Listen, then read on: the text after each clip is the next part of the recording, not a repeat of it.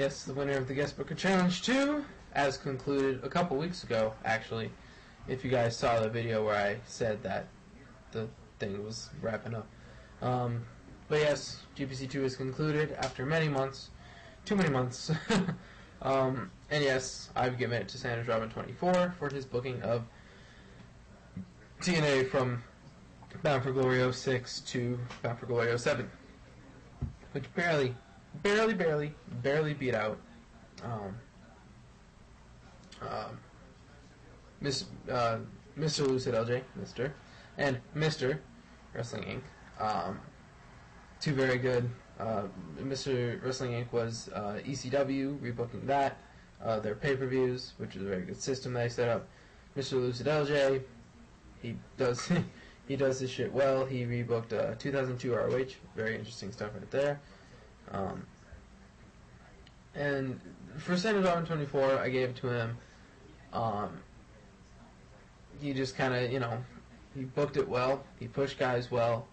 Um, he did the matches right. Um, he fixed what TNA didn't do. Um, all that kind of stuff.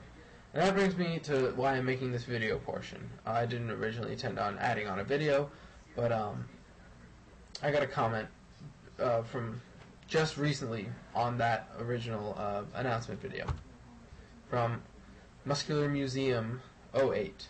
Uh, thank you very much, Muscular Museum. People who do these booking challenges need to tell what people what they're looking for. Nobody ever says what they're looking for in these entries.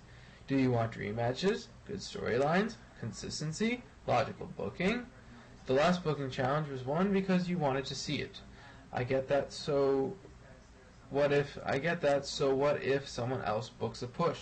Somebody could make new stars the right way and lose out because somebody else had a dream match. Uh, it's not a big deal, just something to think about. Uh, first of all, again, thank you, Muscular Museum 08, for the comment. Um, and uh, I, I totally understand uh, that comment. I I have never explained my criteria super well, um, but it, honestly, my criteria is a mix of uh, of of those things that you mentioned. Um, when I mentioned it last time in the uh, when I chose uh, Lucid LJ, then Lucid LJ, now Mr. Lucid LJ, in the original guest booker challenge uh, when he was my pick for number one. Um, it wasn't just because he had dream matches. It was his dream matches that put him over the top.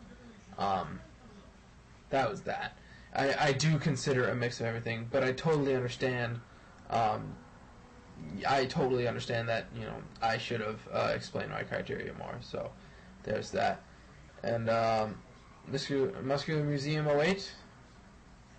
Thank you, thank you for that. Thank you. You know, that's what's nice about YouTube wrestling community here.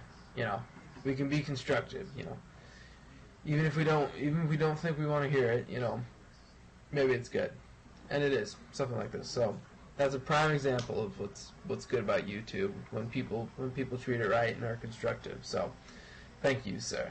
All right, congratulations, Sandra Rob, Sanders Robin twenty four. You get the super plug of Doom.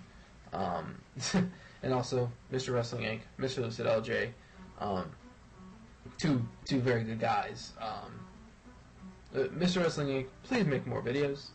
Please make more videos about wrestling. Um, keep making damn movie reviews. Like, yeah, whatever. Machete was bad. Get your ass together. All right. Sorry. Double Cross King. Stay classy, everybody.